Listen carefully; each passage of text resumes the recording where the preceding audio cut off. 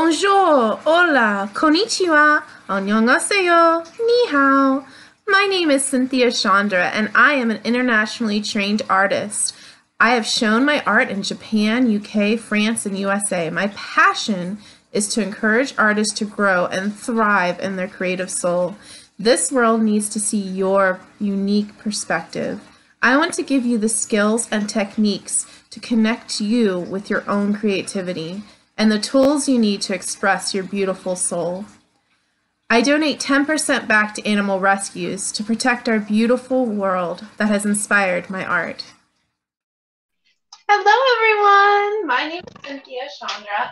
I'm coming to you from my studio. Sorry, I was putting something away real quick. Um, I hope everybody's doing well tonight. I am very excited. I have a really pretty um, really, really pretty teddy bear sunflower, which are like super fluffy and really cute um, to paint for you guys today. It is actually um, from a group that I'm in um, for gardeners that are in Pennsylvania, and I'm really excited to paint this one. So I'm going to go and get started. Um, I hope everybody's doing wonderful. I hope that you had a nice weekend. You're staying warm and safe um, from all this horrible, horrible um, winter wonderlands out there.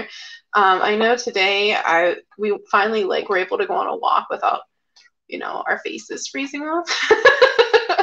um, we live in northwestern Pennsylvania, so um, it was nice to actually um, go outside today. it was kind of rainy actually though, um, but Alex liked splashing in the puddles, you know, of course. Um, so my son's name is Alex and he's four, so he very much so enjoyed going out and um and just like exploring today, which was fun. Um, so I'm gonna go ahead and get started with this really pretty um, sunflower piece that I'm going to be working on. So this is called a teddy bear sunflower. And I, so I have a bit of a problem. I very much so like to garden. Um, I grew up on a, a fairly large, um, fairly large forested area um, with nice garden and um, nice space. And now I live in a town area, like a small little town, and I don't really have space for a garden. We don't have a yard. Um, we do have a back porch and a front porch, but they're pretty small. They're probably like uh, seven feet by seven feet square footage. Um, so it's not very large. However, I fill up every little tiny spot of um, anything with as much um, as much flowers and plants and anything that I can fit. So I was looking through a seed magazine because you know somebody lovely sent me a seed magazine to like tempt me. and there are these teddy bear flower sunflowers um, these pictures of these teddy bear sunflowers. Oh my goodness, they're so gorgeous. So I just I had to I had to I, I had to get some. Don't judge me. Um, I'm not really even sure where I'm going to be able to fit sunflowers.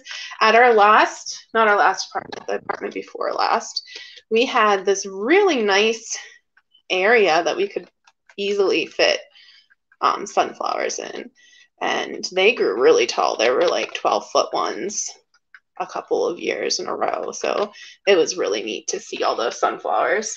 Um, but right now, we have gravel around our house and then sidewalks. So I'm not really sure where I'm going to be putting these sunflowers, but I think they'll be fine.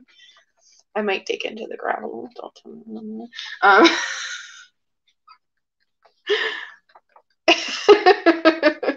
you know me.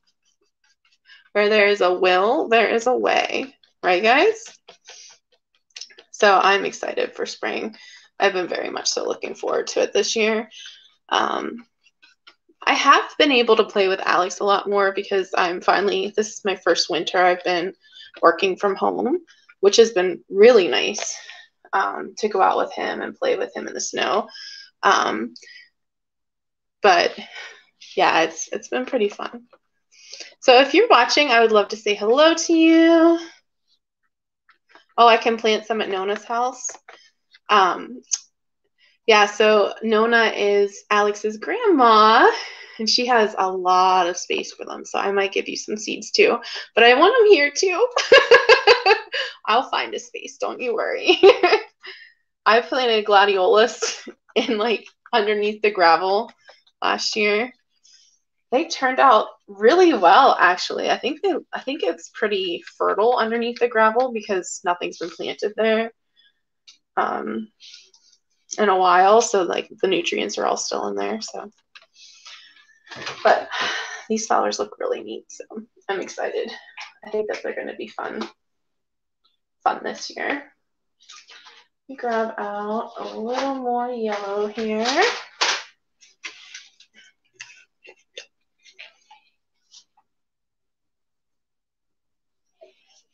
Finally threw most of my little tubes of yellows onto my big my big guns now. So I'm just kind of doing some base coats and then I'll come back in and paint a little bit more detail in this.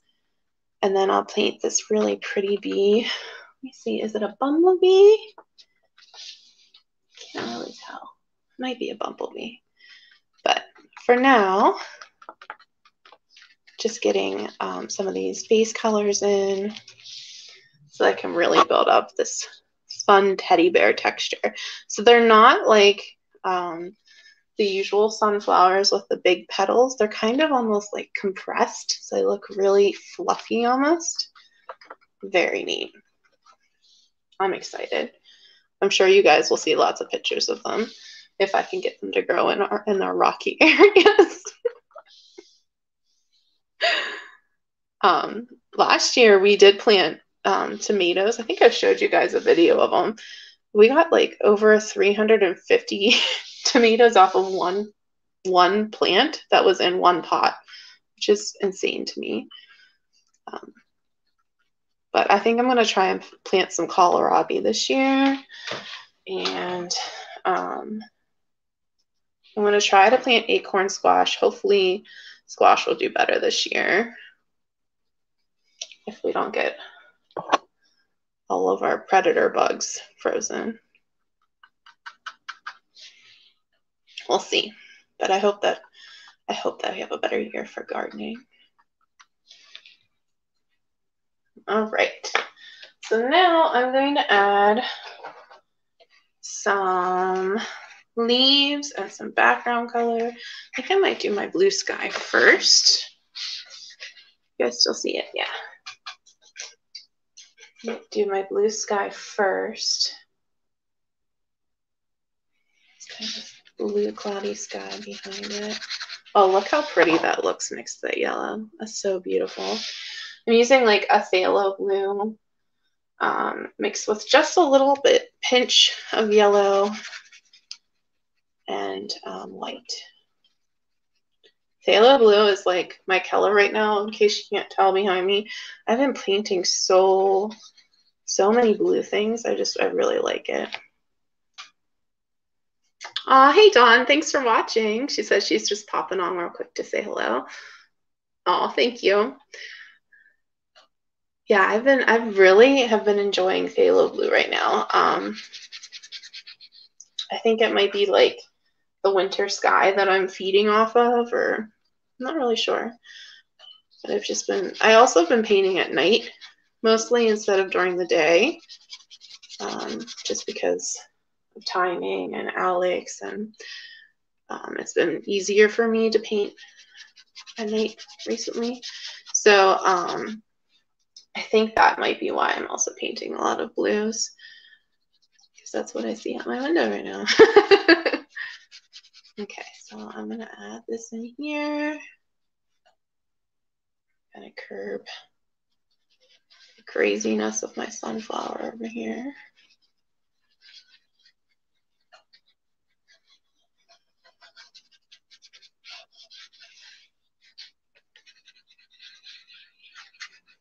And I'm really excited about this gardeners group. There's a lot of neat people in there. And um, I just traded seeds for white. Have you ever heard of white? Um,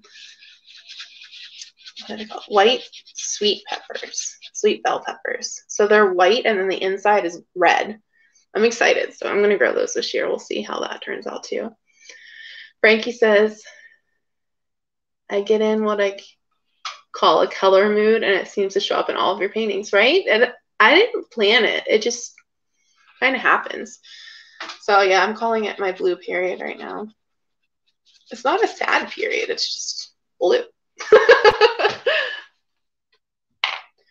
All right, so I'm gonna add some green leaves here. Look at that. Look how beautiful that yellow looks next to that blue. Isn't that gorgeous? Bring it up a little bit for you to see. Oh, oh, look at that. Wow, it just makes that yellow pop. So these are complementary colors, yellow and blue. They're across the color wheel from each other. So they like really um, bring out each other's um, pigments. So I love it. So happy. It's like a little sunshine. Um, so sunflowers are unique in that they um, move during the day to face the sun, which I think is pretty neat. And um, if there isn't a sun, like if it's a cloudy day, they'll actually face each other, which I find to be really, really cool. So they always face towards the sun or towards light.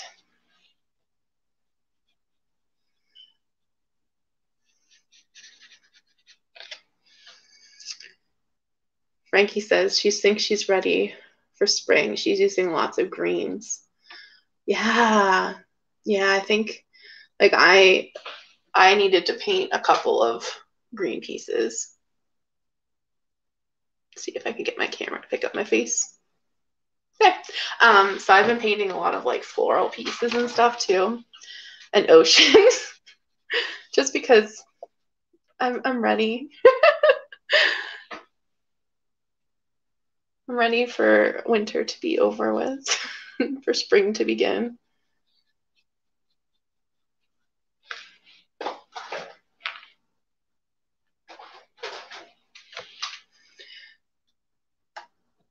Pull my picture again.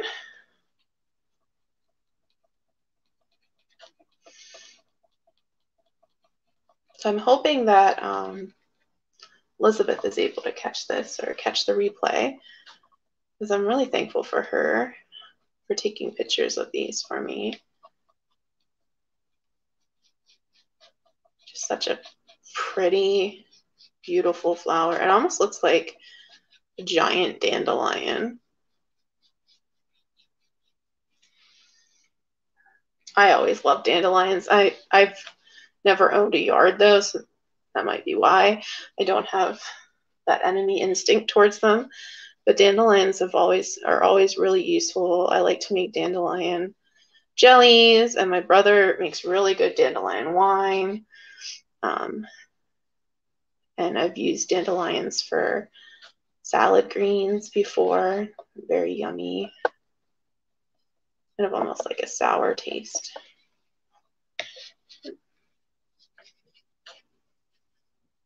I think they're pretty too. And of course, I love blowing off the dandelion seeds.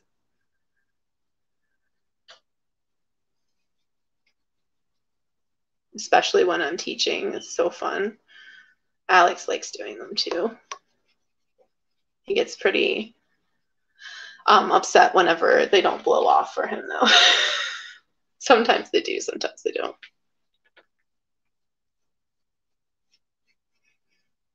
Let's see here. Frankie said, Teddy bear sunflowers are super fun to do in pen and ink. I bet they would be. There's such a neat texture in them. Um, yeah, that'd be really neat to do.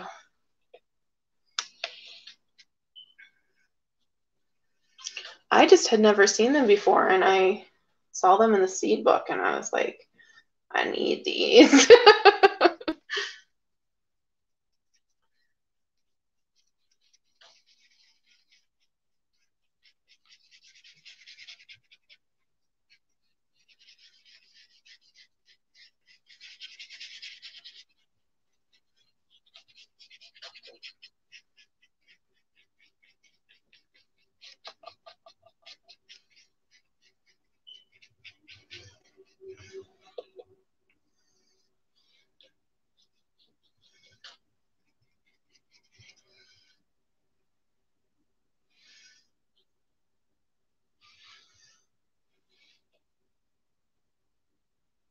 Add a little bit of detail in there.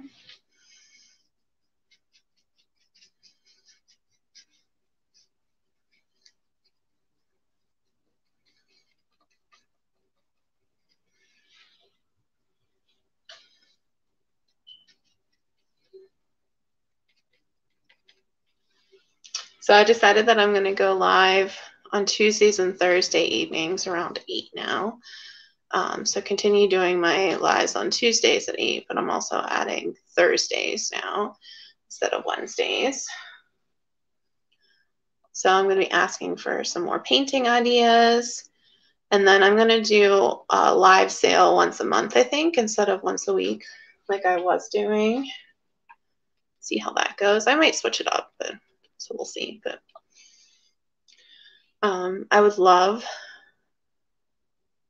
to start doing um, some different lives for you guys. I'm not really sure what to do other than painting. It's kind of like my thing. Um, so if you guys have any ideas of what fun things you'd like to see me doing, um, my next course that I'll be teaching coming up is going to be um, a watercolor course, which will be super fun. Um, and I, am very excited for it. Um, so I'll start enrolling for that coming up next week, and I'll start doing lives talking all about it. I'll probably go live every night with different watercolor pieces. So if there's something that you wanted to learn how to paint with watercolors, I'd love for you to let me know in the comments. Um, and I'll probably do different projects with it for you guys before I um, start doing class watercolor classes the next week. As always, my my lives on my page and on my YouTube channel are free, so um, you can catch some tutorials for free before I do the live paid course.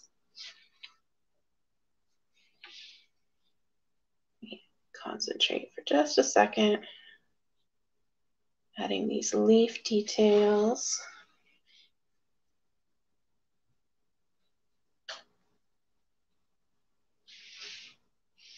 Lovely.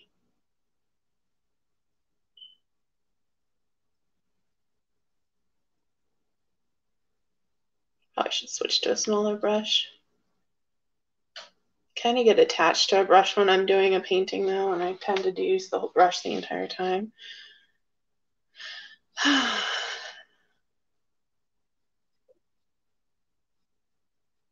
Let's do this curly cues. Fun textures in here. Mm, I love it. Love it, I love it, I love it.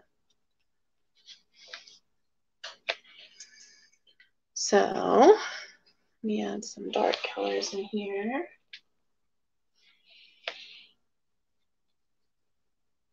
And then what I'm going to do is I'm going to let this dry for a bit. Come back in and add some more later.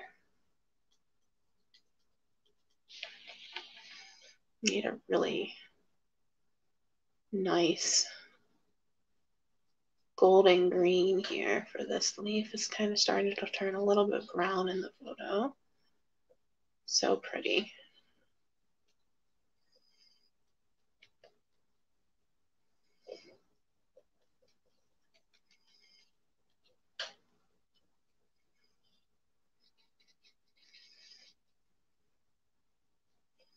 And I'll come back in with all these veinings. Be very pretty yeah, I'd love to to know what you guys want to see me paint with watercolor or what you'd like to learn how to paint with watercolor. Um, I am going to be doing a live, uh, I believe next Friday, um, for margarita and beach painting with watercolors, which I'm very excited about. Um, so we'll have some margaritas together and we'll paint a beach, and all you need is some watercolor paintings and a piece of paper. So I'd love for you guys to join me. But I will be starting watercolor um, lives daily next week. So if you guys want to grab some watercolor paint um, or stock up on some watercolor paper to join me for those. It'd be a great time for you guys to really check it out.